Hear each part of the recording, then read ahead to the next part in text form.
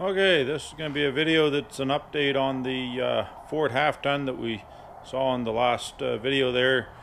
With a no start uh, fuel pump not running so we'll go over what we did and uh, how we sorted out the problems. So let's go to the truck and we'll talk about it.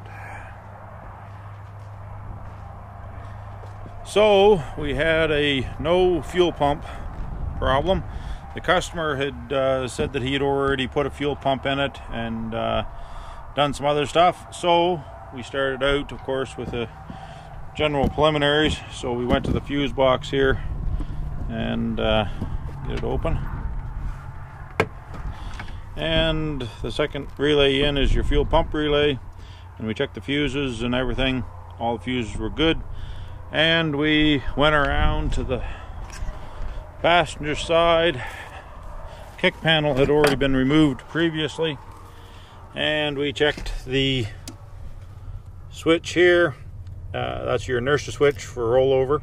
And it was tripped so we reset it. Still nothing. We checked out our connector down here. No power at the connector so we disconnected the connector and we, and we jumpered it just so we would eliminate the possibility if that was a problem because we were getting the impression that we had more than one issue going on with the power supply. So we come back over, said, well, if we don't have power and we got a good fuse, we pulled the relay. We were not getting control on the relay. So we uh, checked a few things over. We jumpered the relay connectors to run fuel power directly to the fuel pump, still nothing. So we went back to the fuel pumps and to the rear fuel pump and we supplied power directly to the pump. The pump would run and make pressure. So we knew that we did not have bad pumps because that can sometimes get you. You got two bad pumps at the same time. Uh, so we knew that if we had on the rear pump, the rear pump would work. So we then said, well, if we got a jumper there, we checked wiring diagrams. Power goes from here to the uh, inertia switch to the tank selector switch and then to the pumps. So we come inside looking for the next problem because we had that we knew we had a problem with relay control, but by jumpering it we had eliminated the relay. So therefore we knew that at this point there was something else wrong. So we're now we knew we had a third problem. So we came to our switch here in the dash, pulled the dash out, and dash cover off, pulled the switch out, checked, and we had 12 volt power to the center wire. It is a orange with a yellow stripe, uh, but no power on either the red or the brown with the white stripe.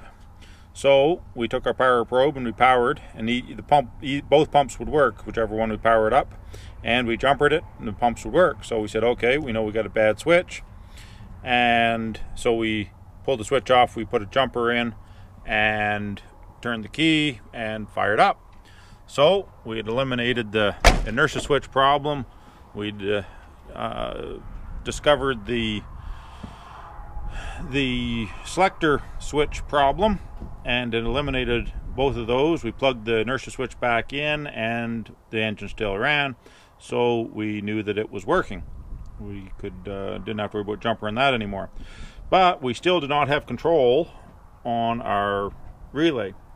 And uh, we were trying to figure out if it was a ground or a power problem because it was acting weird. We were getting 1.9 volts on it instead of the 12 volts that we needed for control.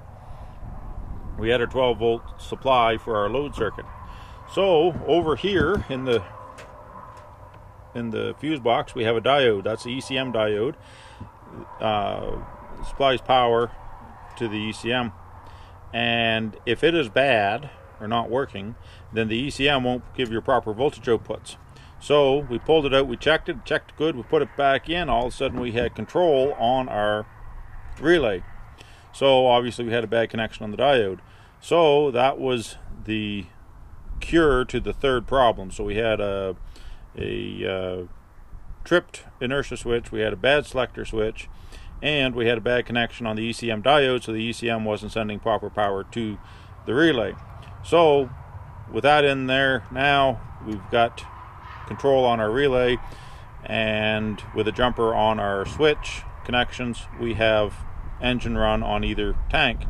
So now we just have to put in a $40 tank selector switch and the truck will be done. Customer's happy. Away we go. The switch is a couple days away, but we'll get it, put it in. And we know that the system works and that the switch is our last remaining problem.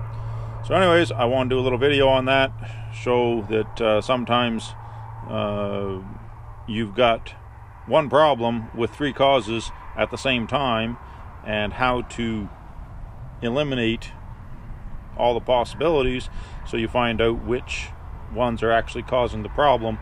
Because, like I said, we had inertia switch tripped, it wasn't the actual problem, but it was tripped when we reset it but we also bypassed it to make sure that it, we weren't getting a uh, one of them situations where you say, "Well, it must be okay because I reset it," and then you uh, so you ignore it from then on, and it's still causing a problem. So we eliminated all of the switching problems, and made and with the goal of getting the engine to run, and then worked our way back through the system.